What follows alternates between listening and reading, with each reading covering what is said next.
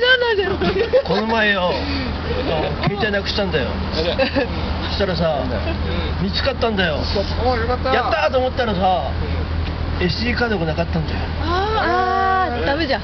そしたらさ写真がね僕自称あの携帯カメラマンだけどさ2000枚ぐらい写真が入ってたわけ。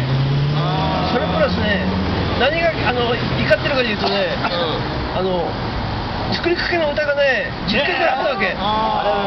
でそれがさ SD カードがないためにさ今思い出せないわけよ。一生懸命。この1週間ぐらいでどんなことあったかあの一生懸命。歌詞もねないんだよないわけよ。一生懸命探してね。探せないからさ歌がね10曲ぐらいパン抜いてしまったんだよ畜生 SD カード持ってかない。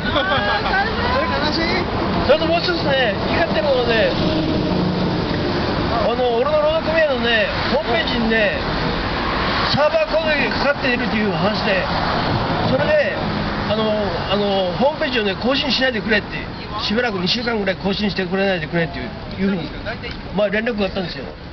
でああ本当かと思っていたらねそれがねまだ続いてるんだよ。